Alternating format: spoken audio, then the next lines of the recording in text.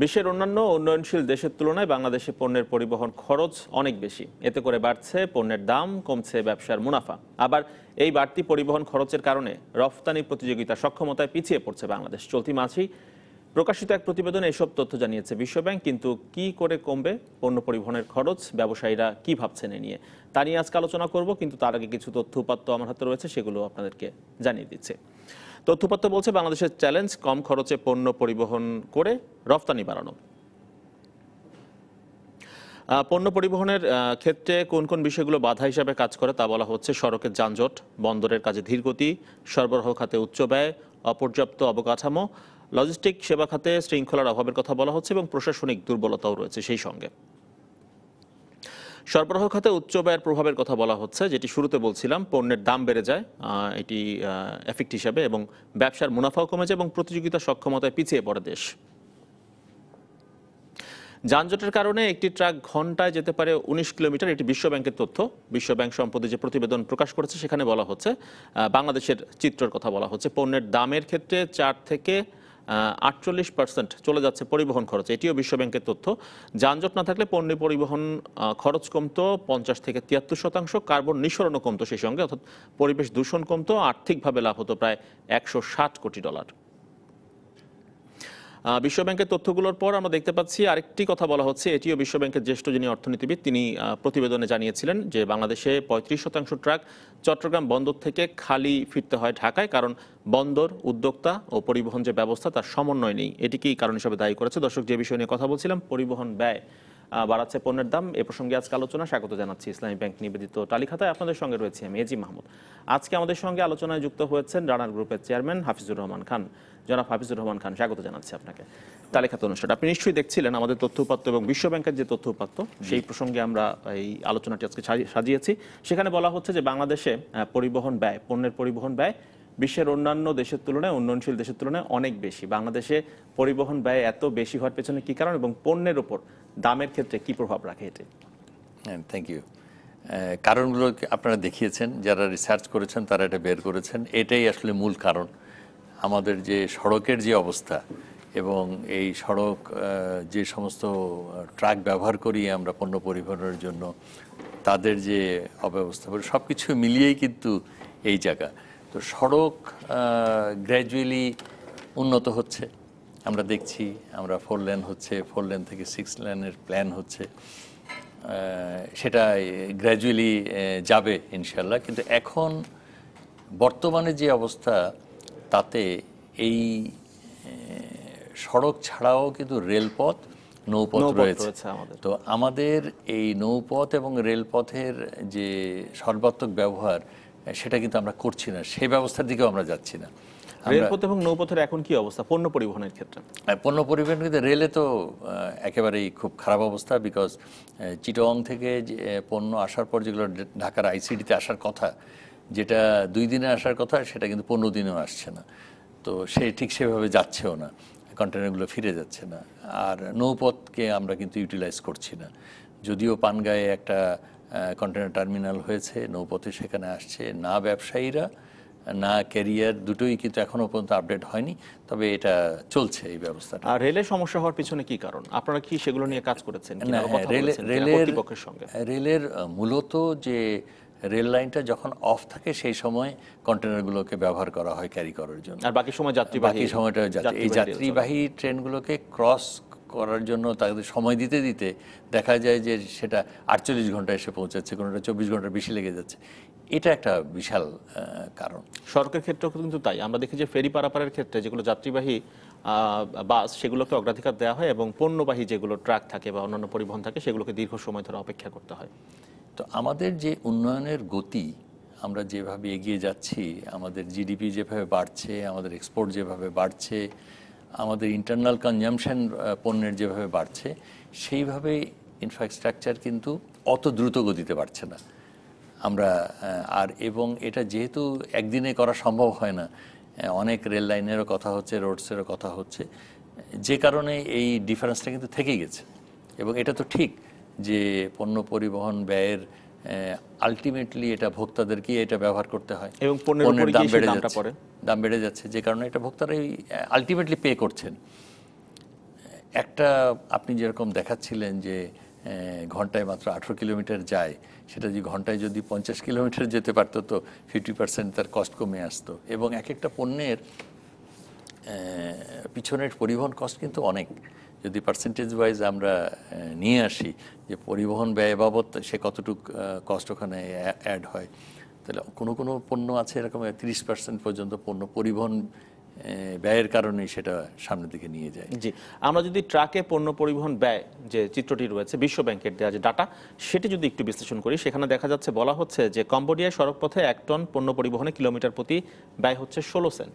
আর সেটি বাংলাদেশে হচ্ছে বারো সেন্ট এবং আমাদের মানে সমগোত্রীয় যে দেশগুলো রয়েছে যদি একটু চিন্তা করি আমরা আশপাশের প্রতিবেশী দেশগুলোকে নিয়ে, তাহলে ভারতে হচ্ছে এটি দুই দশমিক চার এবং পাকিস্তানে হচ্ছে মাত্র দুই সেন্ট।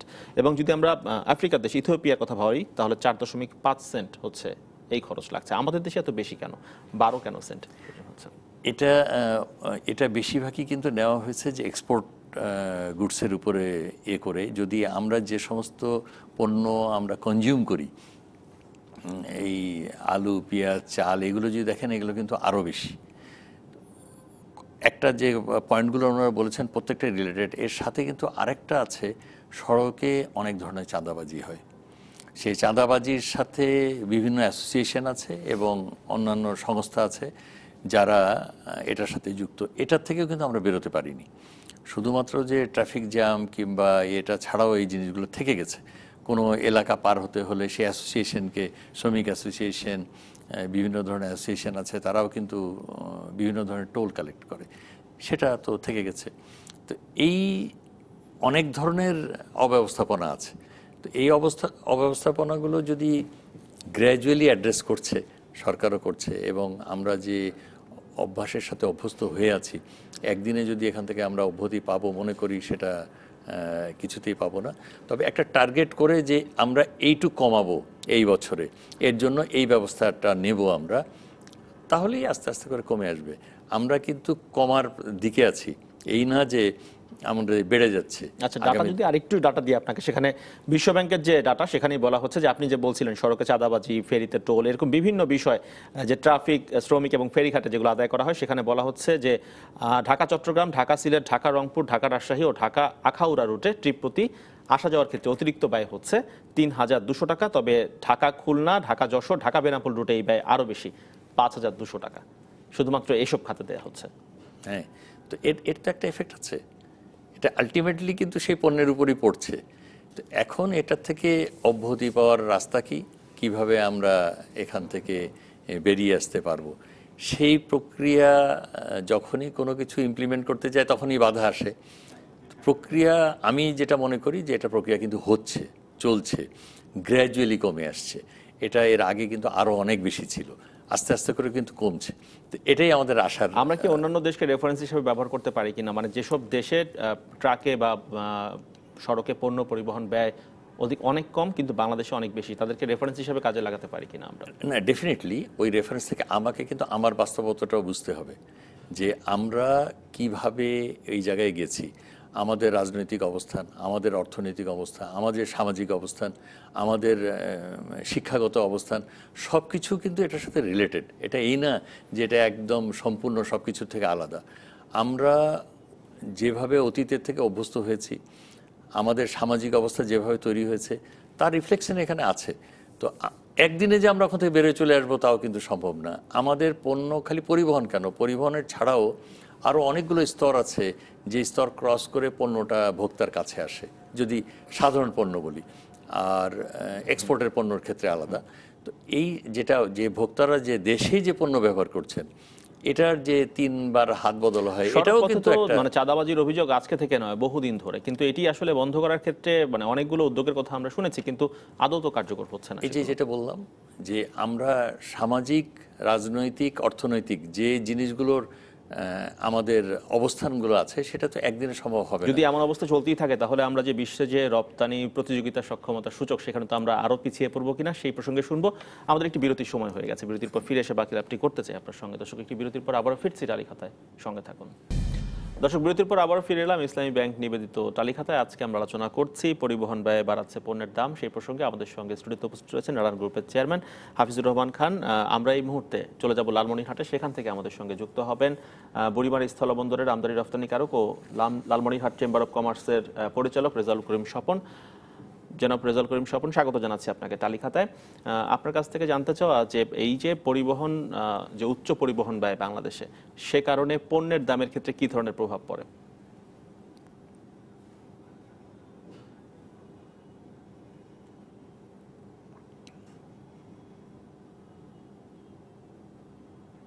ধন্যবাদ আপনাকে অবশ্যই এটা একটি গুরুত্বপূর্ণ প্রশ্ন এবং আমরা আমাদের আমদানি করার পরে আমাদের একটি পণ্য বাজারে আসতে গেলে অবশ্যই আমাদের পরিবহনের প্রয়োজন। এবং এই পরিবহন ব্যয়টি আসলে আমাদের সবসময় নির্দিষ্ট থাকে না। আমাদের রাস্তাঘাটের যে অবস্থা, বিভিন্ন কারণে গাড়ি, ট্রাকের উপরে চাঁদাবাজি, বিভিন্ন হয়রানির কারণে আমাদের স্বাভাবিক যে গাড়ি ভাড়াটা থাকে, এর চেয়ে আসলে অনেক সময় আমাদেরকে অনেক বেশি ভাড়া দিয়ে আমাদেরকে এই পণ্যগুলি পরিবহন করতে হয়। এই কারণে আমাদের আমদানিকৃত পণ্যের উপরে আমাদের খরচটা অনেক বেশি পড়ে যায় এবং তখনই স্বাভাবিকের চেয়ে বেশি দামে সেই পণ্যটা আমাদেরকে বিক্রি করতে হয়।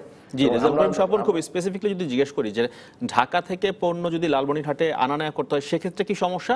আর যদি স্থলবন্দর ব্যবহার করে আমরা পণ্য আনা নেয়া করি সেক্ষেত্রে কি ধরনের সমস্যায় পড়তে হয়?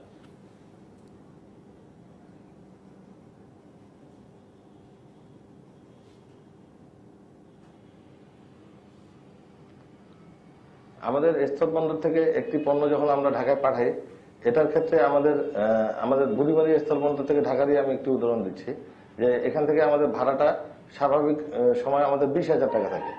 এখন আমাদের দেখা যাচ্ছে যে আমাদের ওভারলোডিং এর যে সমস্যাটা, আগে আমরা যে পরিমাণ পণ্য আমরা পরিবহন করতাম, এখন দেখা যাচ্ছে যে আমাদের ট্রাকে তার চেয়ে অনেক কম পণ্য আমাদেরকে পরিবহন করতে হয় আইন অনুযায়ী। এক্ষেত্রে আমাদের ভাড়াটা প্রায় দ্বিগুণের মতো পড়ে যাচ্ছে প্রতিটি পণ্যের উপরে। এই এই জন্য আমাদের পণ্যের যে বাজার মূল্যটা এটা বেড়ে যাচ্ছে। এবং ঢাকা থেকে যখন আমরা আবার কোনো পণ্য আমরা লালমিহাট বা বুড়িমারিতে নিয়ে আসছি সেটার ক্ষেত্রেও দেখা যাচ্ছে যে রাস্তায় বিভিন্ন ধরনের ট্রাকের উপরে জি কারণগুলো আমরা শুনেছি। এখন আপনার কাছ থেকে জানতে চাই একজন ব্যবসায়ী হিসেবে আপনার পরামর্শ কি থাকবে যে এটি কীভাবে কমিয়ে আনা যায় বা বন্ধ করা যায় যে চাঁদাবাজির কথা বলছেন?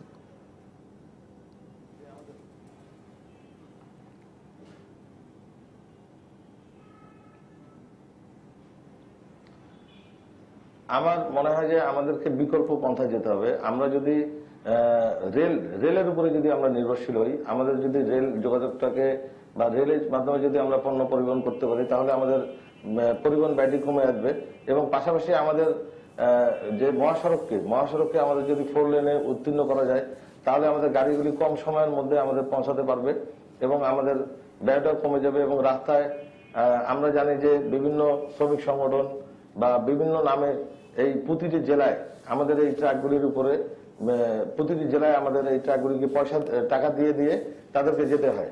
এই জিনিসটা আমি মনে করি যে এই জিনিসটাকে যদি আমাদের নিয়ন্ত্রণ করা সম্ভব হতো তাহলে আমাদের পরিবহন ব্যয়টা অবশ্যই কম হতো। জি রেজাল করিম স্বপন অসংখ্য ধন্যবাদ আমাদের সঙ্গে যুক্ত হওয়ার জন্য টালি খাতায়। আহ, জনাব হাফিজুর রহমান খান তিনি যে সমাধানটি দিয়েছেন সেটি নিয়ে আপনার মন্তব্য জানতে চাই। উনি একটা কথা বলেছেন যে আগে যে পণ্য একটা ট্রাক যতটা ক্যারি করতে পারতো এখন আইনের কারণে কম ক্যারি করতে পারছে। এখানে কিছু মিসকনসেপশন আছে। যারা পণ্যর এক প্রতিটা ট্রাকেরই একটা পণ্য বহন ক্ষমতা আছে এবং ট্রাকটা ওইভাবে ডিজাইন করা হয় ওর থেকে যদি ওভারলোড কেউ করে তাহলে খালি ট্রাকের ক্ষতি হয় না রাস্তার ক্ষতি সড়কের ক্ষতি ক্ষতি হয়। এই এই জায়গাটা যারা এই ট্রাকের ওন করেন কিংবা ট্রাক চালান তারা অনেক সময় বুঝতে চান না। এটা বলছিলাম যে যে আমাদের সামাজিক অবস্থা এবং অন্যান্য অবস্থার কারণ কিন্তু এটা দায়ী। এবং অ্যাক্সিডেন্টের কারণে কিন্তু তাই। আপনি অনেকটা, পরিবহন করবেন তখন আপনার ব্রেক ঠিক মতো এক্স্যাক্টলি মানে অনেক কিছু। এবং ওই ট্রাকের লাইফও কিন্তু কমে আসে। সেটা এই যারা ওন করেন তারা অনেক সময় বুঝতে পারেন না। গ্র্যাজুয়ালি এটাও হচ্ছে তারা আস্তে আস্তে বুঝছেন এবং যত আইন বেশি কঠোরভাবে ইমপ্লিমেন্ট করা হবে পণ্য পরিবহন করতে দেওয়া হবে না বেশি অতিরিক্ত তখন কিন্তু সব দিক দিয়ে এটা লাভবান হবে। আর আসলে ট্রাকের বয়সটাই বেড়ে যাবে। উনি যেটা বলছেন যে পণ্যের কস্ট বেশি বেশি পড়ে যাচ্ছে তা কিন্তু হবে না। কিছু ভুল ধারণা আছে হ্যাঁ, বেড়ে যাবে। এখন তারপরে আসি যে আসলে আমাদের কি? অল্টারনেটিভ আমাদের কিন্তু তৈরি করতে হবে। এখন পর্যন্ত যে পণ্য পরিবহিত হয় আমাদের দেশের, তার মেজরটাই পরিবহিত হচ্ছে সড়ক পথে সড়ক পথের থেকে আমাদেরকে রেলপথ এবং নৌপথ যদি আমরা ব্যবহারের দিকে না ঝুঁকি, তাহলে যেভাবে আমাদের প্রোডাক্টের কনজামশন বাড়ছে, ডিম, মুরগি, মাছ, এগুলো পার হেড যতটা কনজিউম করতাম, গত দশ বছরে এটা তিন গুণ কোনোটা পাঁচ গুণ, সাত গুণ হয়েছে। এই পণ্যগুলোও তো পরিবহন করতে হবে। আমাদের পার হেড আমাদের এত পপুলেশন সতেরো কোটি লোক কোন পথে কীভাবে যাবে? সে জায়গায় পৌঁছাবে কীভাবে? তো এই শুধুমাত্র সড়ক দিয়ে যদি আমরা চিন্তা করি, তাহলে এটা হবে না। শর্ট ডিস্টেন্সগুলো সড়ক পথে যাক বড় বড় ডিস্টেন্স যেটা, সেটা আমাদের নৌপথ এবং রেলপথকে আমরা ব্যবহার করতে উদ্যোগী হই। আর এছাড়া উনি যেটা বলছিলেন যে রাস্তার যদি বেশি ওয়াইড হয় ফোর লেন হয় সেক্ষেত্রে সুযোগ সুবিধা পাওয়া যাবে। আমরা যদি ট্রাকের কথা বলছিলেন আপনি ট্রাকের কথা বলি তাহলে আমরা শুরুতে যে বিষয়টি মানে বলছিলাম সেটা হচ্ছে চট্টগ্রাম বন্দর থেকে পঁয়ত্রিশ শতাংশ ট্রাক আমরা দেখছি বিশ্ব ব্যাংকের তথ্য মতে সেগুলো খালি ফিরে আসছে। কেন মানে বন্দরে কেন উদ্যোক্তা পরিবহন ব্যবস্থার সমন্বয় ঘটছে না? এটা আমাদের এই ট্র্যাকটা কিন্তু ইম্পোর্ট এবং এক্সপোর্টের সাথে রিলেটেড এমন একটা সময় ছিল যখন ঢাকা থেকে খালি ট্রাক যেত এবং ভরে নিয়ে আসতো। তখন ইম্পোর্ট বেশি ছিল। এখন এক্সপোর্ট বেড়েছে। যে র মেটেরিয়ালসটা আসছে এক ট্রাকে, সেটা ফিনিশ গুডস হয়ে হয়তো তিন ট্রাকে যাচ্ছে। এই যে ডিফারেন্সটা তৈরি হচ্ছে, এটার জন্য এই জিনিসটা কিন্তু থাকবে। তো এই যাওয়াটা যেটা যাচ্ছে, ট্রাকে না যেয়ে যদি অন্য কোনোভাবে যেতে পারে, যেটা ফিনিশ গুডস তখনই কিন্তু এই ম্যানেজমেন্টটা আনতে হবে। এটা মানে ট্রাকগুলোকে সমন্বিত যদি আমরা একটা ব্যবস্থার মধ্যে নিয়ে আসি যে যেই ট্রাকটি পণ্য নিয়ে যাচ্ছে চট্টগ্রামে সেই ট্রাকটি আবার কোনো না কোনো জাহাজ থেকে নামা পণ্য নিয়ে আবার হয়তো অন্য কোথাও পৌঁছে দিবে। এই সমন্বয়টি না হওয়ার কারণে অনেক ট্রাক হয়তো গিয়ে না এটা শুধু সমন্বয়ের জন্য এটা হচ্ছে না। এটা পণ্য যেটা পরিবহিত হচ্ছে সেই পণ্যের ভলিউম এবং ওয়েট এই দুটোর উপর নির্ভর করছে। একটা পণ্য যখন আসছে কাপড় র মেটেরিয়ালস হিসাবে যখন আসছে, সে কিন্তু একটা বিশ টনের ট্রাকে নিয়ে চলে আসছে। এবং এই বিশ টন যখন রেডিমেড গার্মেন্টসটা তৈরি হচ্ছে, এটাকে পরিবহন করতে লাগছে চারটা ট্রাক তখন কিন্তু ভলিউমে হয়ে গেছে ওয়েটে নাই।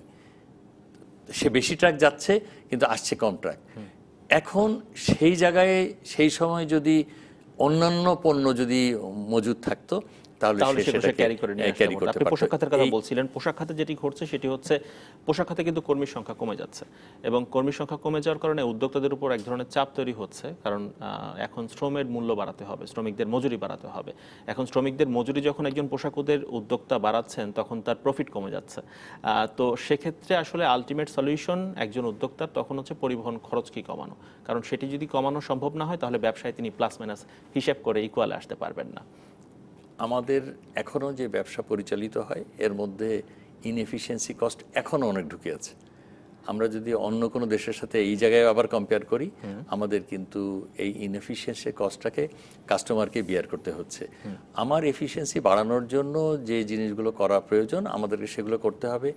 এই ম্যানেজমেন্ট ইনএফিসিয়েন্সি কস্ট কিংবা production inefficiency cost financial inefficiency cost কেন ক্রেতা বহন করবে? এটা কোনোদিনই বহন করবে না।